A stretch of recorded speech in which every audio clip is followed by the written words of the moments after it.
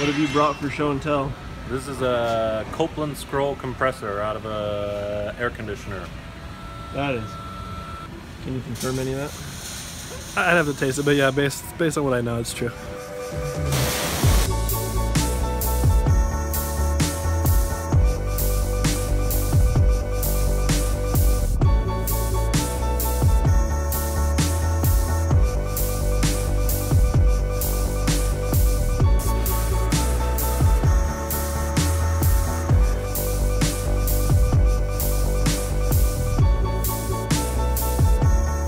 That that was a little thick.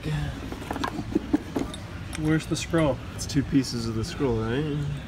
Yeah, those would would slide in between each other. I think So how does this work? It's made on uh, old technology based on the uh, papyrus scrolls. so they call it a scroll compressor. So right there, that is the motor shaft, and then it's got this other smaller shaft that is offset from that one.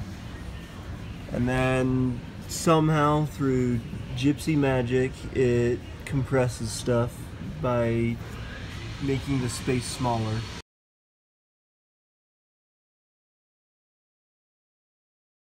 Right? Exactly.